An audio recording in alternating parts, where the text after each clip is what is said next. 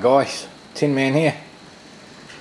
I've grabbed the old window motor out again and I decided to stick my twin back EMF system on it, see how it goes. I've also just set a coil on the top out of a microwave oven going through a poppy voltage doubler. The back EMF from the trigger coil is also going into the voltage doubler and that is getting fed back through this diode and into our run caps and of course we've got our other diode on our run caps going to the start of the run coil so we can feed power back into the run caps. The back EMF from our run coil is of course going back into our run caps as well so we've pretty much well got everything we can get going back into the run caps. Now those run caps uh, 1000 microfarads 25 volts. There's two of them hooked up in parallel which gives us 2000 microfarads. The voltage doubler caps are 16 volts at 1000 microfarads each. They're hooked in series so only 500 microfarads of capacity there. Um, if you see the voltage go up when I disconnect it from our run caps. So it's indeed working well. Hook it back up. Of course it goes back down to our run cap voltage plus the 0.6 volts we're losing through that diode there Um, the bottom coil, of course, is also out of a microwave oven that I split in half, as in pulled, lifted the wire out gently halfway through the coil, cut it, so I'm using one half as our run coil, one half as our trigger coil. I got them within two ohms of each other, so that was pretty good guess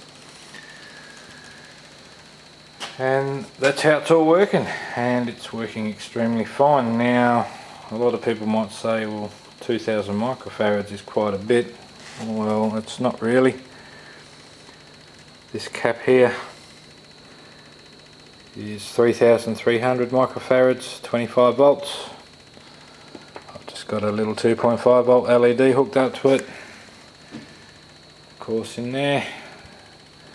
And you will see that when I disconnect the transformer bang lights out. That's how long it lasts, lasts. so not very long at all. And uh, that's got a bigger capacity than our run caps on that.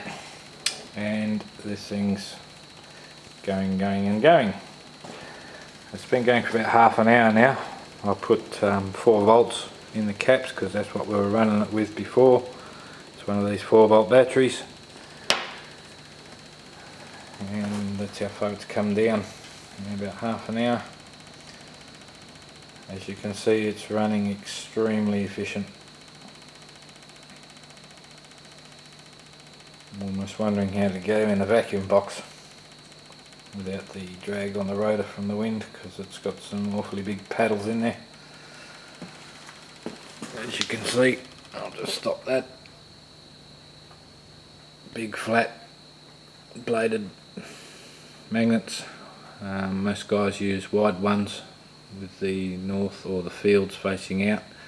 These fields are actually on the flat sides.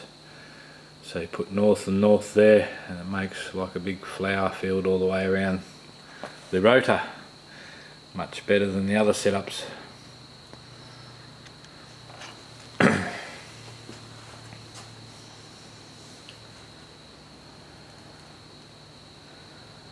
So there you go. It's building up speed, building up the voltage in the voltage doubler.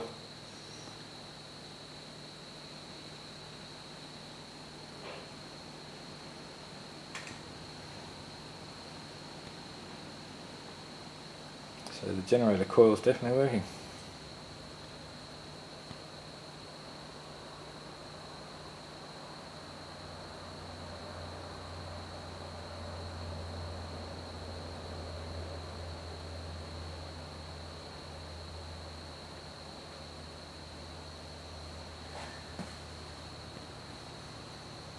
Very quiet video without any noise. No rumbling bearings. No ticking relays. So that's it. The voltage does go down. So she's not Unity but she's very very efficient.